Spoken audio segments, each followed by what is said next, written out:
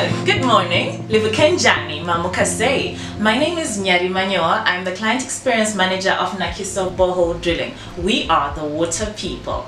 So today I'm going to take you through the borehole drilling process, mm -mm, our borehole drilling process, so that you understand what it is that we do and what it is that you're expected to do for the sole purpose of having water in your home. The first thing I've got to mention is our very dedicated team is willing and helpful at all four stages to make sure that your expectations are met and to make sure that our standards are also met. Let me take you through it. So the first thing that we do is what we call borehole siting, which is a geophysical survey. Let's call that a scan of the underground to make sure that we we find the breaks and the fractures under the ground that might contain water. Take note, we don't look for water. We look for the breaks and the fractures underground that might contain water. So when we produce this scan, this pictorial of the underground, we interpret it into a PDF document that we send to you, our valued client, which you then submit to your local ZINWA offices to get the authority to drill permit, um, which is, you know, a regulation that everyone who drills is supposed to have. Everyone, including you.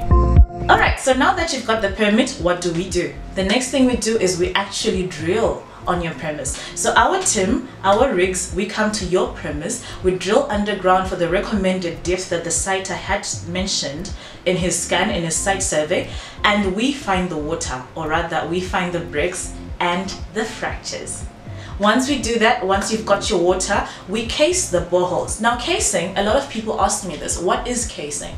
Borehole casing are support structures that we insert into the borehole to make sure that it doesn't collapse unto itself. So we've got three classes of casings that we use, class 6, class 9 and class 10. Class 6 is of a thinner material, it is more susceptible to underground pressure. We always recommend that you use class 9 and class 10 for best results. After drilling, then what next?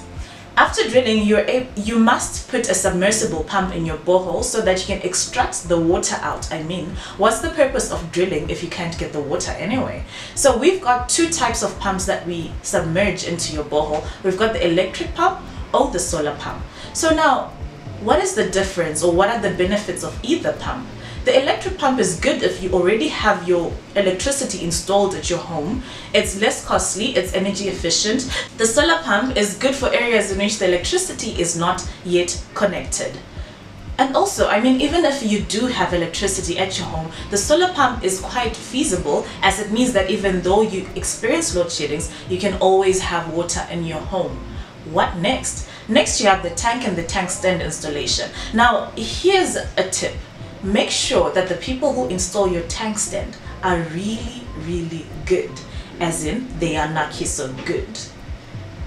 See, we take so much care in our installations and preparations because we don't want you to suffer some fate after three months, after four months, after six months. That's why we say we are the best water people in this country. We know what we do and we do it well. Huh, we love what we do.